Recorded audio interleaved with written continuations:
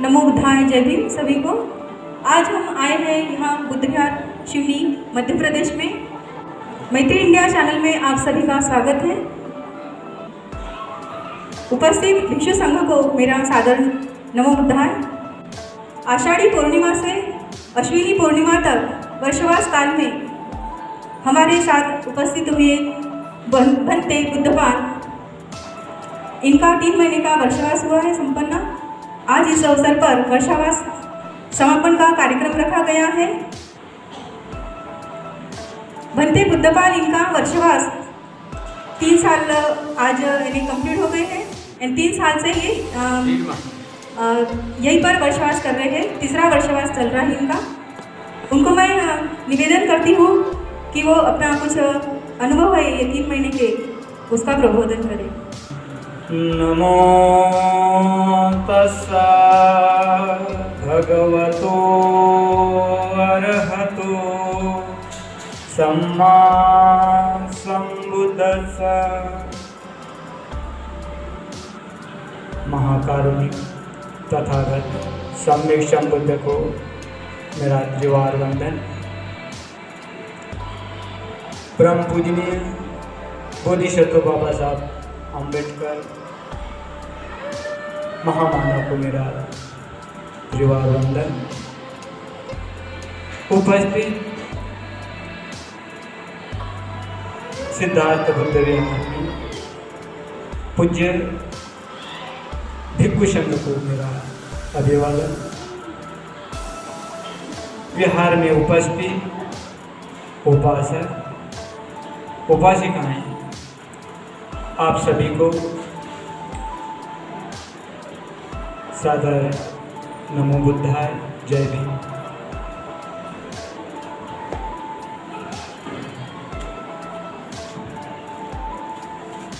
इस सिद्धार्थ बुद्ध विहार में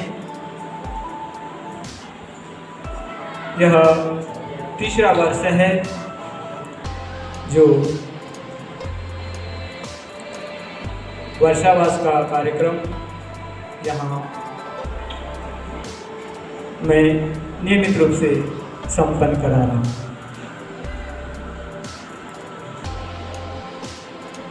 इस वर्षावास में जो भिक्षु एक स्थान पर निवास करते हैं, उसमें वो धर्म का अध्ययन करते हैं। उस अध्ययन काल में जो उपासक, उपासिकाएँ आती है, उनको भी वे धर्म का प्रबोधन करते हैं।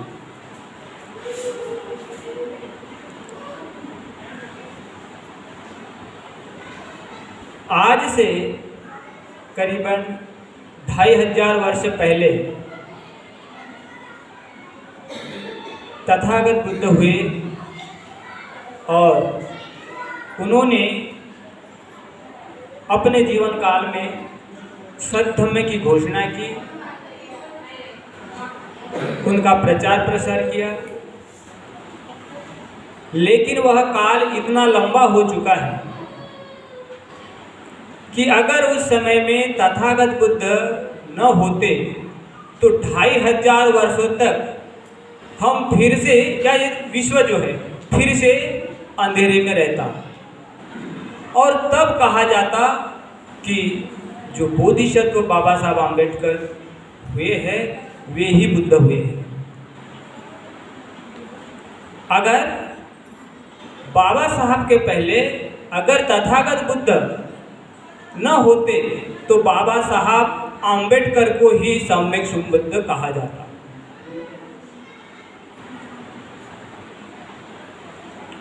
तो बाबा साहब कहते हैं कि इतने लंबे समय में बुद्ध की जो बात है, यहाँ तक के जो आई है, वो कौन सी बात सही है और कौन सी बात गलत है, ये त्रिपिटक में भी हम जा कर के स्पष्ट नहीं कर पाते। इसलिए किसी भी कार्य की जो प्रमाणिकता है या किसी भी व्यक्ति की जो प्रमाणिकता है, उसके कार्य से मापी जाती है। इसलिए बौद्ध धर्म को अगर हमें मापना है, समझना है और सीखना है तो बाबा साहब को समझ करके ही बौद्ध धर्म तक हम जा सकते हैं। तो बाबा साहब कहते हैं कि इस धम्म का पतन होने का कारण क्या है? तो उन्होंने कहा कि बौद्ध धर्म का कोई समाज नहीं होना एक बौद्ध धर्म के पतन का कारण रहा है। क्योंकि भिक्षु, बुद्ध के काल में भिक्षुओं को संघ में प्रवेश करने का संस्कार था। भिक्षुणियों को संघ में संस्कारित होने का संस्कार था कि वे उस संघ के सदस्य बनते थे। लेकिन उपासकों के लिए कोई संस्कार नहीं था कि वो उपासक कह सके कि मैं बौद्ध धर्म का अनुयायी हूँ। इसीलिए बाबा साहब ने कहा कि हमें एक उपासक उपासिकाओं के लिए भी संस्कार स्थापित करना पड़ेगा ताकि वो संस्कार से वो जाने कि मैं बौद्ध धर्म का उपासक या उपासिका हूँ। तो जिन लोगों ने आज तक के बौद्ध धर्म का कोई संस्कार नहीं किया है, जिन्होंने प्रतिज्ञा ग्रहण नहीं की है, वे उपासक, उपासिकाएँ नहीं हैं। आप लोगों के साथ में जैसे साधारण लोग भी आकर के धर्म देशना सुनने बैठते हैं, उसी प्रकार से आप साधारण लोग हैं। लेकिन जिन लोगों ने उसका संस्कार विधि किया है, वे आपको, वो अपने आप को कह सकते हैं कि हम बौद्ध धर्म के उपासक है या उपासिकाएँ हैं। तो बाबा साहब ने जो बुद्ध और उनका धम्म लिखा। उन्होंने कहा कि सभी के धर्मों में अपनी एक उनकी ग्रंथ है, पुस्तक है। अभी भंती जी ने पहले ही बताया था कि भाई, हिंदू धर्म वालों के लिए रामायण है, महाभारत है, ईसाइयों के लिए उनका बाइबिल है, मुसलमानों के लिए कुरान है, लेकिन बौद्धों के लिए क्या है? तो त्रिपिटक जो है, कोई एक पुस्तक नहीं है जिसको कोई पढ़ सके। इसमें एक सौ पचासी करीबन ग्रंथ है, जो पढ़ना असंभव है। इसीलिए बाबा साहब ने कहा कि सारे त्रिपिटक में जो बुद्ध वचन हैं, उनको एकत्रित करना और वो बौद्धों के लिए उपलब्ध कराना। तो बुद्ध एंड धम्म में बाबा साहब ने जो बुद्ध की मूल शिक्षाएँ थी, उन शिक्षाओं को एकत्रित किया। और अब हमारा काम है कि बाबा साहब ने जो बुद्ध एंड धम्मा निर्मित किया है, वो भारत के बौद्धों के लिए ही नहीं, बल्कि विश्व की दृष्टि से उसको निर्मित किया है। कि यह विश्व के बौद्धों का धम्म ग्रंथ होगा। इस दृष्टि से वो लिखा गया है। लेकिन ये बौद्ध का बुद्ध धम्म जो है, यह ग्रंथ विश्व के बौद्धों के लिए कब साबित होगा? तो इसकी ज़िम्मेदारी जो है, वो भारत के बौद्धों की है कि वो उसको विश्व के बौद्धों के लिए एक ऐसा उसको आदर्श उपस्थित कर सके। तो तीन महीने के अवधि काल में मैंने पिछले वर्ष से भी ये कहा था और ईश्वर से भी कहा था कि मैं आपका जो उद्यान धर्म है, वो तीन महीने में इसको कंप्लीट आपको समझा और इसमें जो भी किसी को कमियाँ महसूस होती हो या जो भी समझ में ना आता हो तो वह डिस्कस करे और बुद्ध धर्म को समझे। क्योंकि जब तक कि हम धर्म को समझ नहीं सकेंगे, तब तक कि हम उस धर्म को सुरक्षित नहीं रख सकेंगे।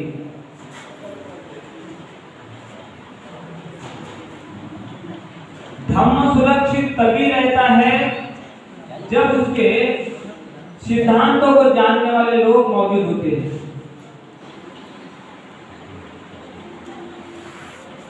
और हर धर्म में साहेब कुछ मूल विषय होते हैं, जिस पर वो धम्म टिका होता है। तो उस मूल मूल विषय को अगर जानने वाले लोग रहे और लोगों को प्रत्युत्तर देने में सक्षम रहे तो वो व्यक्ति उस संस्कृति को बचा सकते हैं। इसलिए बुद्धा और उनके धर्म में और ऐसी कौन सी बात है जो लोगों को समझ में नहीं आई? तो समझने के लिए वो धन्यवाद है कि आप उसको प्रस्तुत करें। क्योंकि कोई भी कोई भी सिद्धांत अगर समझ में नहीं आएगा तो व्यक्ति अपने जीवन में उसका व्यवहार नहीं कर पाएगा। और बाबा साहब ने जब विश्व के कल्याण की दृष्टि से इसको लिखा है तो आपका कल्याण हो सकता है कि नहीं हो सकता? तो इस तीन महीने की अवधि में जो नियमित रूप से उपासक, उपासिकाएँ आई है, उन लोगों का धर्म के प्रति क्या रुझान है, वे खुद अपने अनुभव से समझ सकते हैं। क्योंकि इस धम्म को हमने इस प्रकार से समझा के बताया कि जिस प्रकार से एक व्यक्ति बगैर भोजन के जीवित नहीं रह सकता, बगैर भोजन के उसका शरीर जीवित नहीं रह सकता, उसी प्रकार से कोई भी व्यक्ति बगैर सद्धम्म के अपने जीवन में सुखी हो ही नहीं सकता। और जिस प्रकार से व्यक्ति को भोजन की आवश्यकता है, उसी प्रकार से व्यक्ति को सद्धम्म पे चलने की आवश्यकता है। ऐसी जो व्यक्ति हमारे प्रवचन में रहा, उसने ऐसा महसूस किया होगा कि इसके बगैर मनुष्य का सुख कहीं भी नहीं है। बाबा साहब ने कहा कि ये धम्म तभी सद्धम्म है जब लोगों के अंदर में वो जिज्ञासा पैदा कर दे कि इसके बगैर मनुष्य का जीवन हो ही नहीं सकता। तो इस प्रकार से हमने हर व्यक्ति को जो प्रवचन में रहा, उनको बताने का प्रयास किया कि स्वतंत्रता, समानता, न्याय, ये तीन आधार बिंदु जहाँ होंगे, वहाँ पर ही आपकी मैत्रिता, मित्रता उत्पन्न होगी, वहीं पे शांति होगी और वहीं सुख होगा। हर व्यक्ति का अंतिम हेतु क्या है? सुख। तो सुख का पूर्व आधार स्तंभ क्या है? क्योंकि हर चीज़ कार्य कारण पर टिकी हुई है। आपके परिवार का सुख हो, चाहे आपके समाज का सुख। पहली सुख की अवस्था है उसकी स्वतंत्रता। अगर आप किसके साथ में रहते हैं, वो आपकी स्वतंत्रता का हनन करता है तो क्या उसके साथ में आपकी मित्रता हो सकती है? अब जिसके साथ में मित्रता नहीं हो सकती, क्या उसके साथ में आपको सुख हो सकता है? जो आपको समानता का अवसर नहीं देता, आपको अपने बराबरी में नहीं रखता, क्या वो आपका मित्र हो सकता है? जो आपके साथ में न्याय नहीं करता, चाहे घर परिवार का कोई भी व्यक्ति हो, जो अपने साथ में, आपके साथ में न्याय नहीं करता क्या उसके साथ में आपकी मित्रता हो सकती है? और जिसके साथ में आपकी मित्रता नहीं हो सकती, वहाँ पर शांति स्थापित नहीं हो सकती, और जहाँ शांति स्थापित नहीं हो सकती, वहाँ सुख नहीं हो सकता। तो ये स्वतंत्रता, समानता, न्याय और बंधुता, ये धम्म के आधार स्तंभ है। और ये जिस दिन, जिस व्यक्ति को समझ में आएगा कि इसके बगैर मेरा परिवार सुखी नहीं हो सकता तो निश्चित रूप से वह सद्धर्म के मार्ग पर चले। तो हमने निश्चित रूप से धर्मों को इस प्रकार से समझाने का प्रयास किया कि सद्धर्म के बगैर आप सुखी रह ही नहीं सकते। एक छोटे से उदाहरण से समझिए कि आपने एक गाय को खरीद के लाया है। उसको रस्सी से आपने बांधा और उस रस्सी को आपने पकड़ के रखा है। अब वो गाय जो है, वो बाहर क्यों नहीं जा सकती? क्योंकि वो रस्सी से बंधी हुई है। आप बाहर क्यों नहीं जा सकते? क्योंकि आपने गाय के रस्से को। सुखी दोनों है क्या? स्वतंत्र दोनों है क्या? नहीं है। तो ये स्वतंत्रता अगर जिसको चाहिए तो उसको एकमात्र आधार है सद्धर्म का। अगर आप अपने जीवन में सुखी रहना चाहते हैं तो ये सद्धर्म ही है जो आपको स्वतंत्रता, समानता और आपके साथ में न्याय करने का अवसर देता है। तो क्या किसी व्यक्ति को लगता है कि मुझे पर किसी का अनुशासन नहीं होना चाहिए? मैंने स्वतंत्र रहना चाहिए। अगर आपको लगता है कि हमें स्वतंत्र रहना चाहिए तो आपकी स्वतंत्रता जो है, आपकी स्वतंत्रता की गारंटी कौन देता है? क्योंकि एक पुरुष को तो एक महिला को तो पुरुष छोड़ता नहीं, उसको स्वतंत्रता नहीं देता। लेकिन कोई महिला या कोई पुरुष, वो कहे कि मुझे हिंसा नहीं करनी है चोरी नहीं करनी है।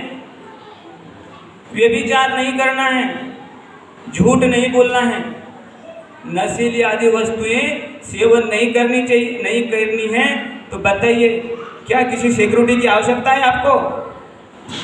किसी भी व्यक्ति को किसी भी सिक्योरिटी की आवश्यकता है क्या? तब वो व्यक्ति जीवन में स्वतंत्र रह सकता है। आपके पीछे कानून चल रहा है। आपको डंडा लेकर के चलाता है कि आप गलत काम नहीं कर सकते।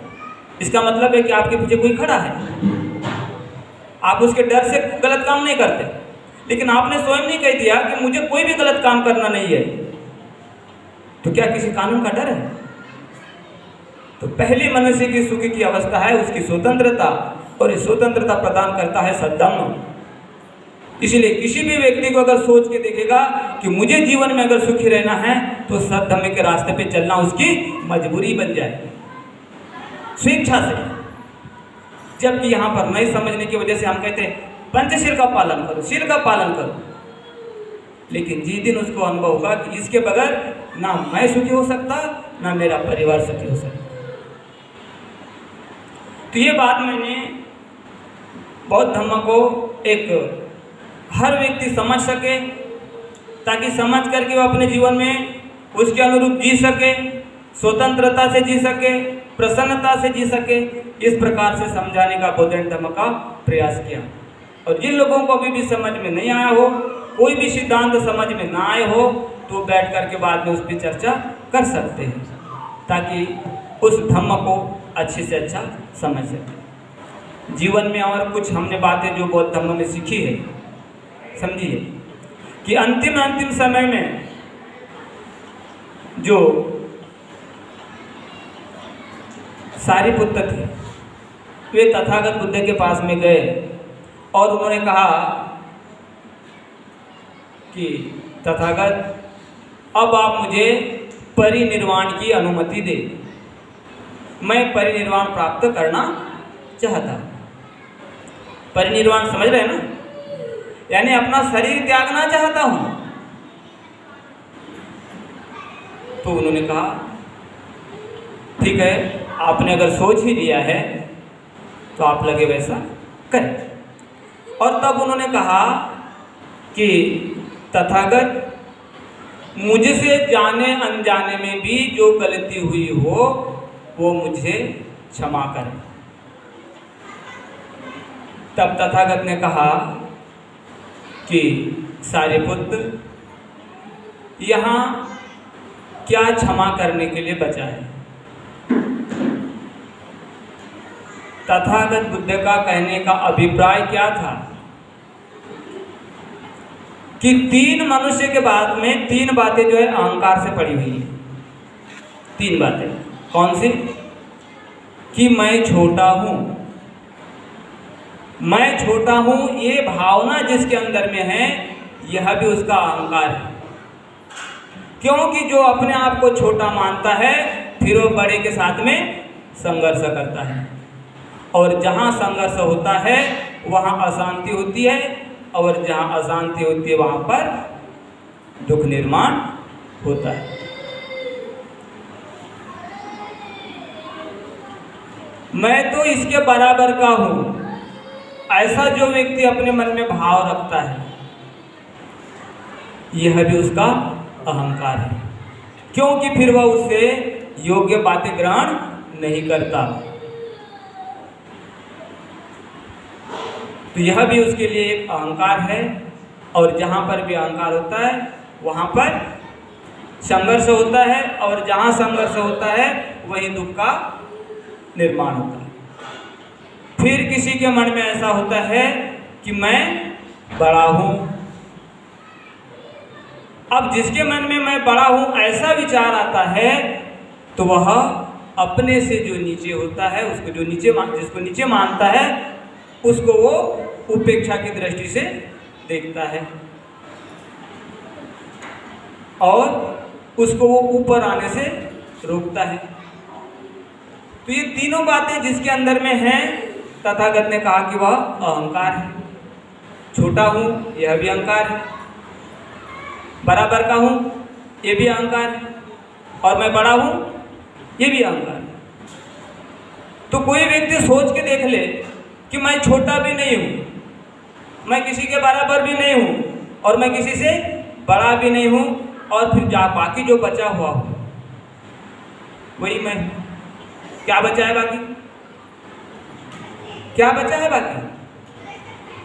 तो तथागत बुद्ध ने कहा कि सारी बुद्ध क्या है यहाँ? तू और क्या है मैं? क्या है माफ़ करने के लिए? जहाँ किसी के बीच में कोई तू और मैं है ही नहीं तो माफ़ क्या किया जा सकता है?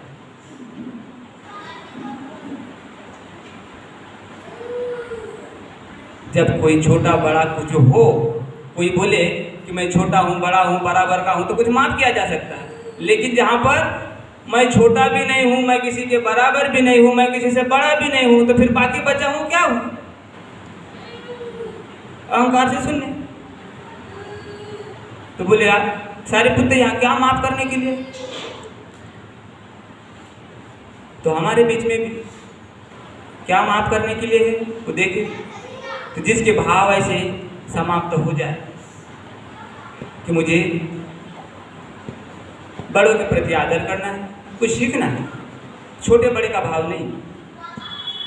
क्योंकि छोटे बड़े का भाव अहंकार है। सब कुछ छोटे। तो जितना इस बुद्धम में हम समझ सके हैं, और जो लोग समझना चाहते या उनको जो समझ में नहीं आया हो, उनको समझने का हम प्रयास करेंगे।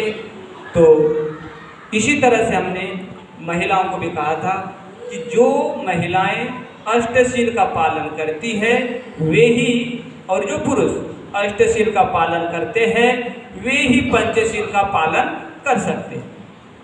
क्योंकि पंचशील का पालन करने के लिए तीन शील उसको कसौटी लगाती है। अन्यथा आपके साथ में तो कोई आम आदमी भी बैठ करके पंचशील ग्रहण कर लेता है।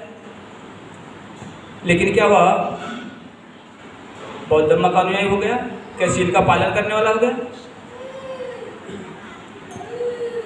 क्योंकि जिस दिन महिला या पुरुष अष्टशील का पालन करते हैं, उस दिन वे व्रत धारण करते हैं। उनको लगता है कि हाँ हम आज कुछ कर रहे हैं। और जब आप कुछ करते हैं उस दिन तो आपके बच्चे भी देखते हैं कि हमारे माता पिता क्या कर रहे हैं। तो वही संस्कृति बच्चों के पास में आएगी। अभी बहुत से कुछ लोगों में ये बात चलेगी कि नहीं, हम तो नहीं भी करेंगे और अब तक के नहीं किए तो क्या करें? अब करेंगे तो कैसा लगेगा? तो सही बात है। जो अब तक के बिहार नहीं आए और कुछ लोग आते हैं तो बोलते हैं, कब से बिहार जाने लगा? तो उस व्यक्ति को भी लगता है, नहीं जाए तो अच्छी बात है। हा? अब किसी व्यक्ति का जन्म होते ही उसकी माँ मर गई, उसके पिताजी मर गए और वो कहता है कि नहीं सब व्यक्तियों ने अपने माता पिता की सेवा करनी चाहिए। अब उस व्यक्ति ने किया क्या?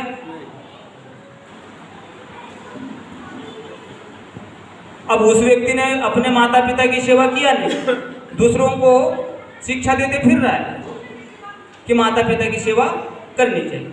अब उसने नहीं किया तो उसके लड़के ने तो देखा नहीं। तो क्या उसका लड़का उसकी सेवा करेगा? नहीं करेगा लेकिन जिस व्यक्ति ने अपने माता पिता की सेवा किया, वो दूसरों को कह सकता है कि माता पिता की सेवा करनी चाहिए। उसके बच्चे भी देखेंगे अपने माता पिता को सेवा करते हुए, वो सेवा करेंगे। तो हम लोग सिर का पालन नहीं करेंगे और बच्चों को करेंगे कि तुम सिर का पालन करो। तो क्या वे कर पाएँगे? इसीलिए हमारी प्राथमिकता बनती है कि हम सिर का पालन करें। छोटे छोटे बच्चों को भी सिर का पालन करने का अवसर डालें तो निश्चित रूप से अगर आपने बचपन में अगर बच्चों को अच्छे संस्कार दे दिए तो आप उनके जीवन के लिए निश्चिंत हो जाएँगे। और नहीं तो ये उनका बचपन अगर आपने लापरवाही में खो दिया तो वे बच्चे अगर अपने जीवन में दुखी रहेंगे तो माँ बाप फिर ज़िंदगी भर अपने जीवन काल में कभी सुखी नहीं रह पाएँगे। क्योंकि बच्चा दुखी रहेगा तो माँ बाप सुखी नहीं रह पाएँगे। ये सारी बात मैंने इस बौद्ध धर्म के सिलेबस में सभी को समझाने का प्रयास किया। आप लोगों ने कितना समझा, ये आप पर निर्भर करता है। आप उसको कितना फॉलो करेंगे, ये आप पर निर्भर करता है। तो इसी कड़ी में मैं अपना जो तीन महीने का व्रतांत था कि जो आप लोगों ने क्या कुछ किया और जो कुछ करना बाकी है, उसके लिए भी मैंने आपको निर्देशित कर दिया। अगर आप ऐसा करते हैं तो निश्चित रूप से इस बौद्ध धर्म को आप जीवित रख सकते हैं और ये जीवित रहेगा तो आपके बेटा बेटियों को भी मिलेगा। तो अंतिम में एक बात समापन के समय में बोल ही देता हूँ कि जिस समय से बाबा साहब ने कहा कि ये जो नाव है, अभी अभी सागर में मैंने उतारा है। इस नाव को उस किनारे पे जाना अभी बाकी है। और इसी नाव में आपके सभी आने वाली संतति प्रवास करेगी। और इस नाव को बनाने में मैंने अपने विरोधियों से बहुत अपमान सहा है। और यहाँ तक कि मैंने लाया है। अब इस धम्म नाव को उस किनारे तक के ले जाना आपकी ज़िम्मेदारी है। और ये नाव अगर उस किनारे पे नहीं गई, और ये नाव अगर कहीं डूब गई तो सबसे पहले तुम्हारे बेटा बेटी डूब के मरेंगे इसमें। और जब तुम्हारे बेटा बेटी डूब के मरेंगे तो इसके जिम्मेदार आप होंगे। इसलिए हर व्यक्ति ने अगर किसी ने अपने बच्चों को जन्म दिया है तो उनके जीवन को सुरक्षित रखने के लिए उनको इस नाव को जी जान से बचाना चाहिए। तो इसी के साथ में आप सभी लोगों को बहुत बहुत साधुवाद कि आप लोगों ने शांतिपूर्वक सुना।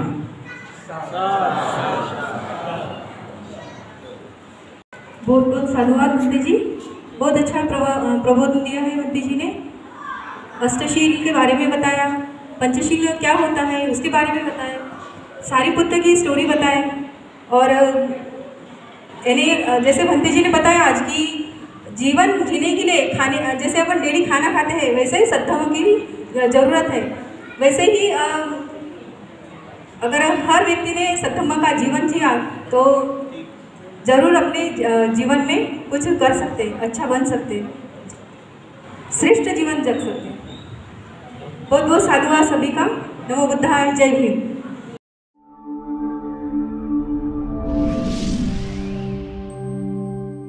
आज के अध्यक्ष अ, जयमंगल भंते महानंद मोदी भंते भंते बुद्धपाल। इनके सानिध्य में आषाढ़ पूर्णिमा से अश्विन पूर्णिमा तक वर्षवास का कार्यक्रम आयोजित किया गया है। इस अवसर पर भिक्षु संघ भी उपस्थित है। मैं भिक्षु संघ से निवेदन करूँगी, महानंद मोदी से, कि आप प्रबोधन करें।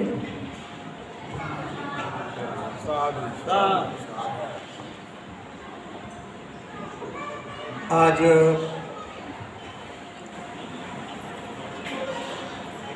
मैत्री बुद्ध चैनल के तहत यूट्यूब चैनल के तहत बहुत बहुत साधुवाद है। जिसमें आज इस सिवनी जिला के लिए एक खास बात है कि हम लोग आज वर्षावा समापन का कार्यक्रम करने जा रहे हैं। सभी, दीवा तपती अतिथ्यो रतिंग अभाती चंद्रमा, घनत खत्यो तपती, जाई तपती ब्राह्मणो उद सब रतिंग बुद्धा तपती तेजसा, बुद्धा तपती तेजसा, बुद्धा तपती तेज जिस प्रकार से दिन में सूर्य चमकता है, रात्रि में चंद्रमा, कवच खड़ग के आधार पर एक छतरी चमकता है और तपस्या के आधार पर एक ब्राह्मण।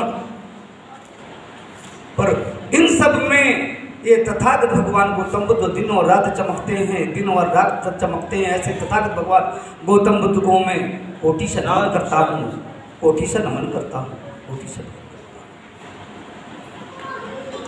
ये धम इसी भारत का यहीं से युक्त हो गया और उसी आधार पर बड़े मशक्कत के साथ में खून पसीना कोशिश थे भी पूरे प्रज्वलित करने वाले हम बाबा साहेब अंबेडकर को भी मैं नमन करता हूँ और नमन करता हूँ।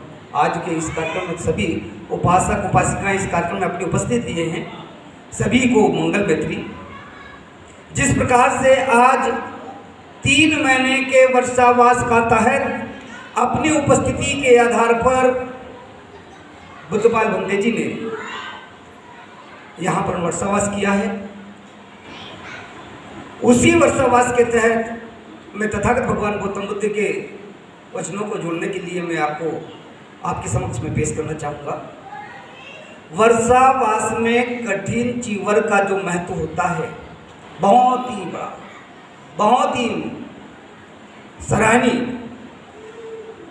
जब तथागत भगवान गौतम बुद्ध तीन महीने का वर्षावास करते थे, उस समय का एक दृष्टांत है कि तमाम भिक्खु संघ उपासक के साथ में उनके लिए एक चीवर बनाया जाता था। उस दिन दिन और रात सोया नहीं करते थे और उससे के समय में जब सुबह होते हुए चीवर बनता था तो तथागत भगवान गौतम बुद्ध को सप्रम भेंट किया जाता था, दान दिया जाता था।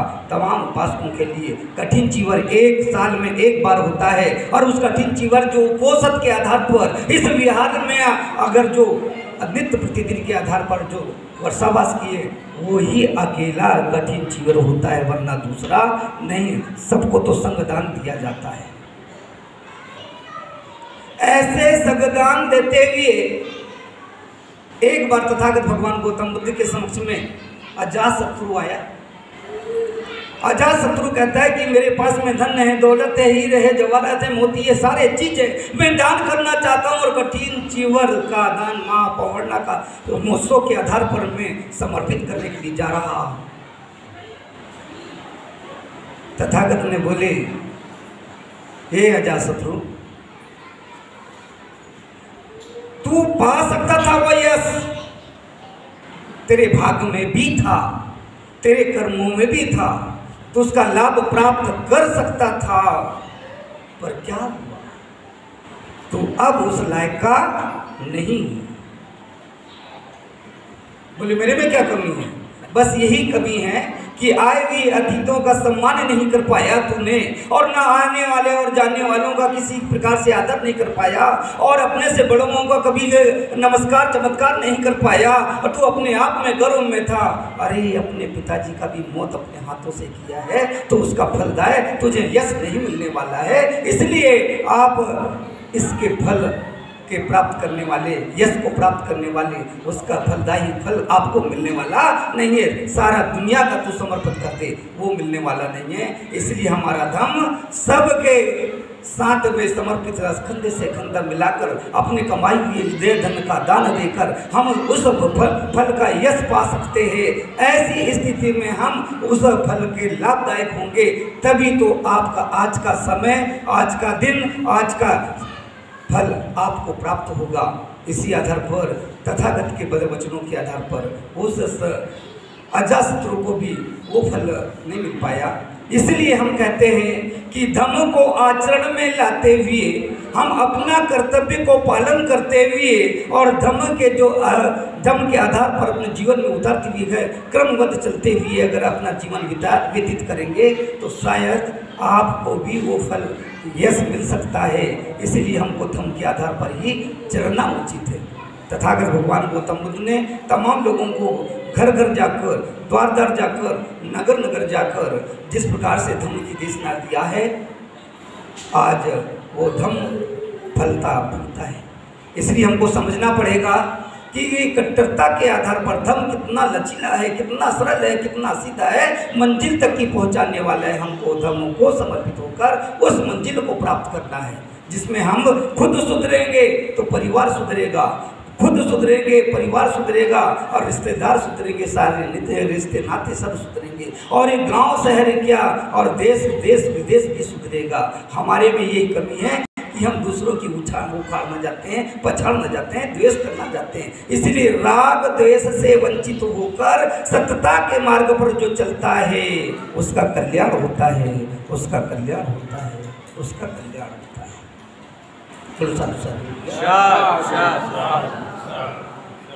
भोजन दान के बारे में दो शब्द और बोलना चाहूँगा मैं।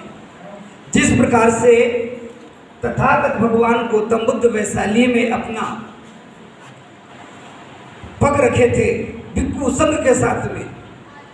राजा ने बोला लक्ष्मी राजा ने बोला कि आज मेरे नगर मेरे भिक्खु संघ के साथ में तथागत भगवान गौतम बुद्ध आए हैं तो मैं उनको नगर के लिए, मैं उनको आह्वान करूँगा, आमंत्रण दूँगा कि मेरे नगर में आकर भोजन प्राप्त करें। ऐसा सोच रहा था। बोला, नहीं, सोच रहा था। पर उसके पहले, सोचने के पहले अम्रपाली ने अपना रथ को तैयार करके और तथागत के समक्ष में जाती है और पंचांग प्रणाम कर कर हाथ जोड़कर कहती है कि ये तथागत, मेरे घर में भी कुसंग के साथ में भोजन के लिए आमंत्रण करने आए वो तो स्वीकार कर दीजिएगा मुझे उसका फल मिलना चाहिए। अम्रपाली का जब भोजन दान का स्वीकार किए तथागत ने, और इसके बाद में जो राजा, लिच्छवी राजा बाद में आए आने वाले थे। इसी बीच में जब स्वीकार किया और अम्रपाली ने लेकर अपना रथ को चलाते हुए कट मारते हुए राजा से छलांग लगाती हुई जब जग गई, राजा देखते देखते चकित हो गया। क्यों? कि वो फल मिलने वाला है। उससे वो उसका हौसला बुलंद था। उसका इंतज़ार जिस प्रकार से किया था, वो तथागत ने स्वीकार कर लिया है। इसलिए खुशी के मारे वो अपने आप को वो सहन नहीं कर पाई और तीव्र गति से अपने रथ को निकालते हुए अपने घर को अपने गंतव्य को चली गई।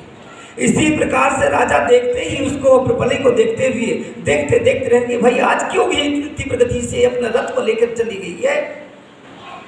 मंत्री ने बोला कि, राजा साहब, यही अम्बरपाली है जो तथागत भगवान गौतम बुद्ध के समक्ष में से जाकर वापस हुई है। शायद भोजन के लिए आमंत्रण करने गई, फिर भी कोई बात नहीं। चलते हैं हम लोग। तथागत भगवान गौतम बुद्ध के पास में लिच्छवी राजा जब जाता है, वंदन करता है। वंदन करने के बाद में उनको आमंत्रण करता है तो तथागत भगवान गौतम बुद्ध क्या कहते हैं कि मैं जिनको वचनबद्ध हो गया, किसी दूसरे को मैं अपना शब्द को व्यक्त नहीं करूँगा। जिसका निमंत्रण जो मैंने स्वीकार किया मैं भोजन उसी की यहाँ करूँगा। तब उन्हें बोलेंगे कल का मुहूर्त, जिस प्रकार से आज का मुहूर्त यहाँ है, या आज का दिन यहाँ है, वो सफलता की घड़ी है। और वो सफलता की घड़ी को समापन करने के लिए आज महापवारणा दिवस आज मनाने जा रहे हैं। तीन वर्ष का वर्षावास का तहत आज सह परिवार के साथ में इस उपासक उपासिकाओं ने इस विहार में मनाने के लिए आज संकल्प लिया है। आज का दिन शुभ करते हुए उस निर्माण को निर्वाहित करते हुए आप लोग अपना कर्तव्य परायण के आधार पर आज का दिन में सब अपने अपने घरों से अपनी उपस्थिति दिया है।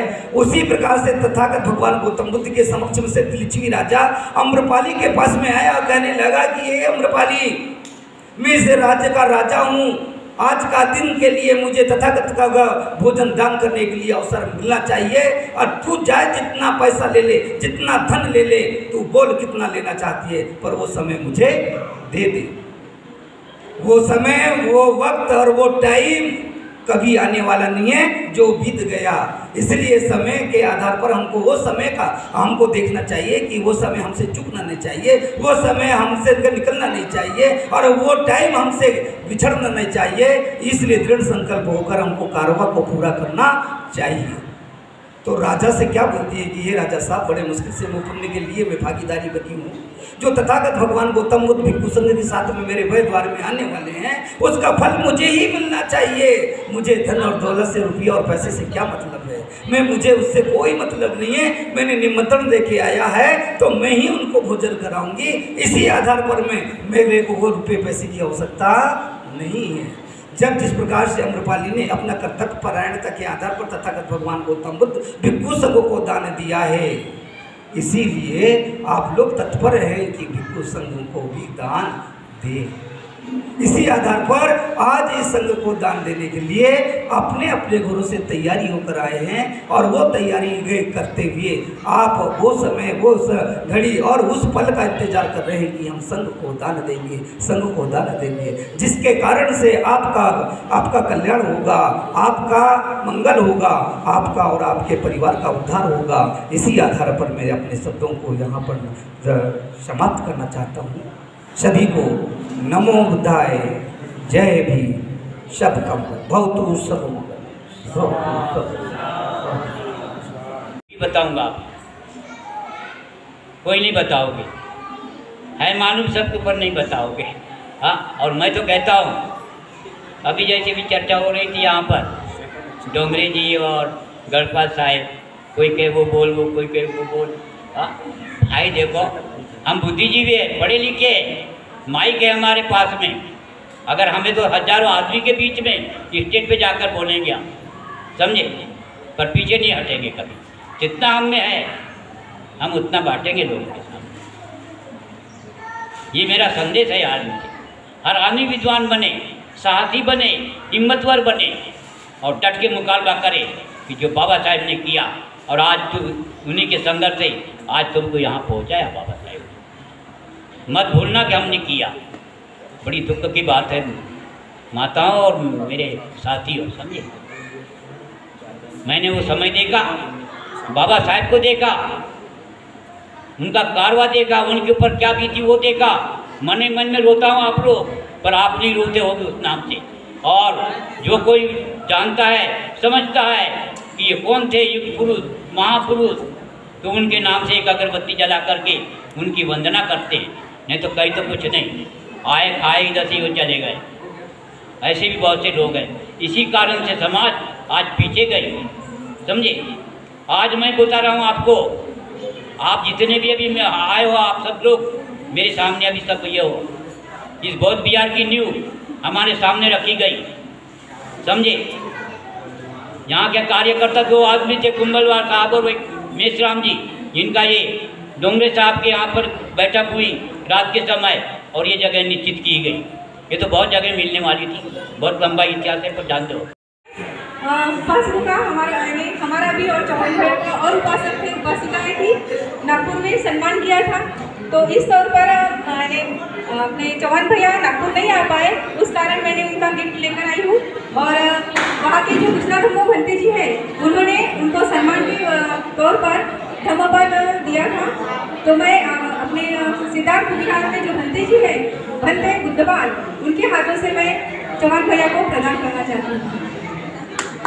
साधु साधु साधु। ऐसे ही धम्म क्लास में जुड़े रहिए भैया। साधुवाद और आज वर्षावास समापन कार्यक्रम के अवसर पर मैत्री इंडिया चैनल नागपुर की ओर से सुनीता बागड़े जी, संवाददाता और कैमरामैन,